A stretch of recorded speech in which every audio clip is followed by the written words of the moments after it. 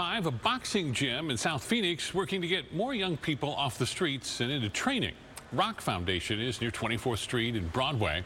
ABC 15's Claudia Rupcich spoke to the nonprofit's founder about the impact they hope to have on the community. ROCK stands for Reaching Our Community and Kids. It was started four years ago and it aims to reach those low income families in this area.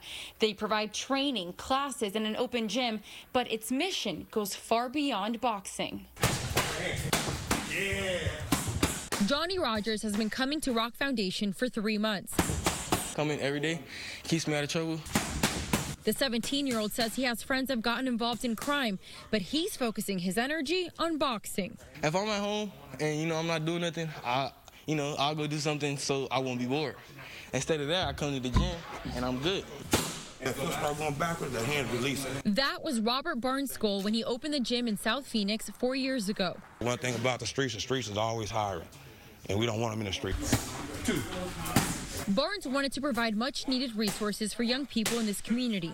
He and the staff at Rock Foundation also provide counseling and mentoring. We do job searches, we uh, we do uh, resume writing, we help you, we do food boxes, We're in, we give you inspirational words. Barnes wants this space to be a safe, accessible outlet for them. Anybody's welcome, no matter your race, no matter your community, no matter your gender, come on down. They provide free training for low income families. They also have Zumba classes for women and other programs for those who just need a place to hang. Sometimes we just sit around and have group talks. We just talk about social issues. We talk about uh, every, everything that's affecting the community.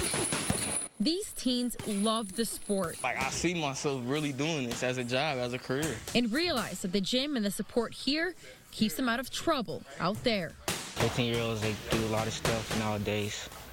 It's crazy. Rock Foundation is partnering with other groups here in South Phoenix to bring a big food drive right outside the gym. A lot of the services they provide here are free, so they do rely on donations. If you're interested in helping, head to abc15.com. In South Phoenix, I'm Claudia Rupcich, ABC 15 Arizona.